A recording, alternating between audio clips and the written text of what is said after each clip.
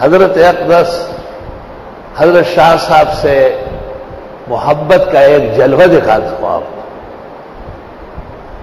محمد انور شاہ کی پیدائش سے پندرہ دن پہلے میں نے خواب میں حضرت اقدس سید علی حجویری، جن کو لوگ داتا گنج بخش کہتے ہیں۔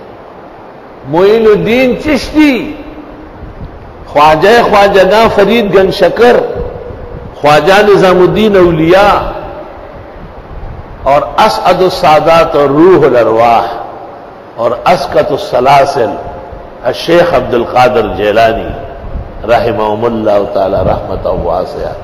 بائیس ہزار اولیاء مواجہ شریف میں بیٹھے ہوئے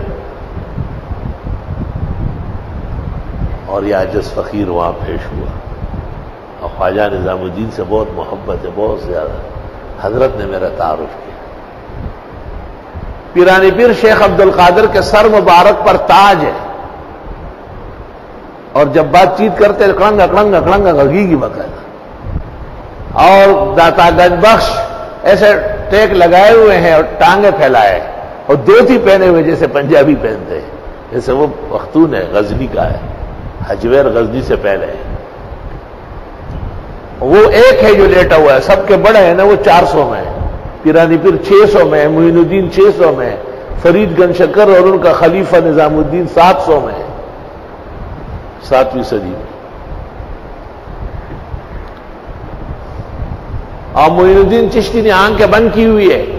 وہ دیکھتے نہیں تھے لوگ، آنکھیں بند رکھتے تھے۔ اللہ اکبر۔ اور ایک دعا بھی ان بزرگوں نے فرمائی۔